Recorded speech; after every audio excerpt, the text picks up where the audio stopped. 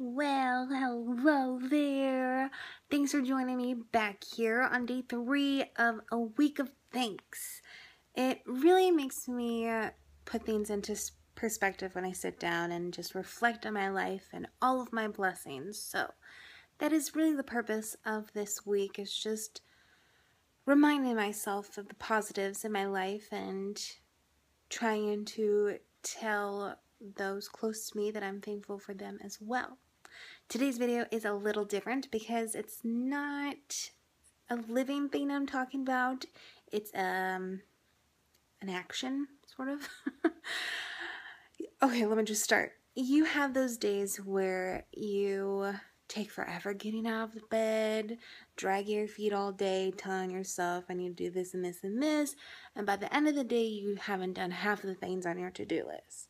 But then you have those days where you wake up looking at the world with bright eyes and you get busy, go to town, do your errands, all of that fun stuff. And when you lay down at night, you feel like you deserve an amazing sleep because you had such a long but productive day.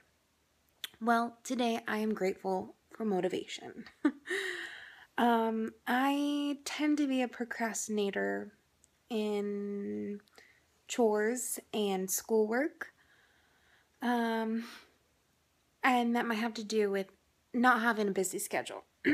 I find that when I have lots of things to do, such as working, volunteering, doing homework, then I can get things done quickly because I'm on a time crunch.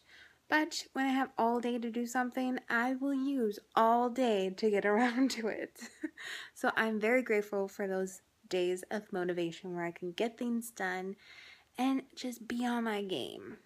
And I hope that I have more motivating days rather than procrastinating days.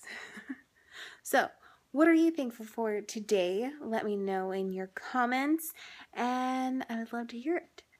Don't forget to remember what this week is all about.